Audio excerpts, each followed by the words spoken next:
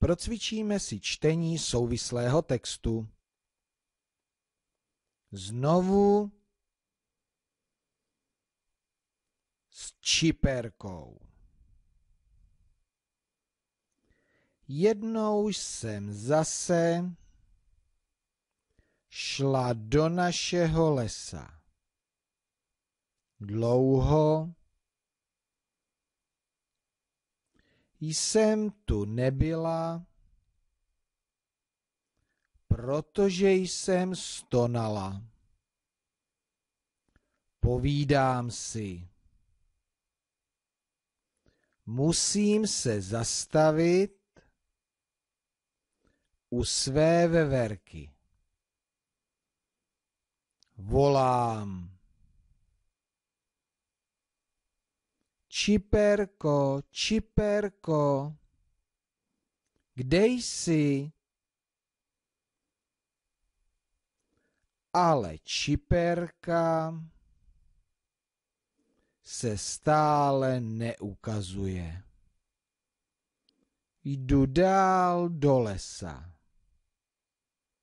Doufám, že jí cestou potkám. Sotva jsem popošla, kousek dál, už je tady. Myhla se nade mnou, volá na mne z vysoké jedle. Alenko, ahoj. To jsem ráda, že jsi tu. Kde zbyla? Tak dlouho. Říkáte, že veverka nemluví, ale mluví. Umí mluvit očima. Víte jak? Zkuste to jako ona. Můžete si také zkusit říci.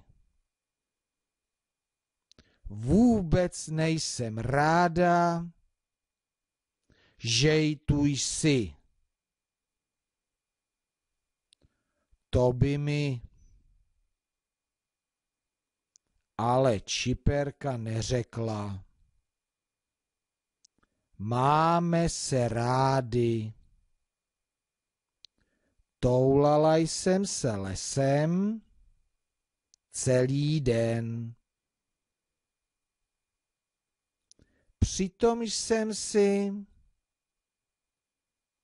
se svou kamarádkou stále povídala. Celé video si nyní přehrej znovu. Slum si zvuk a přečti celý článek.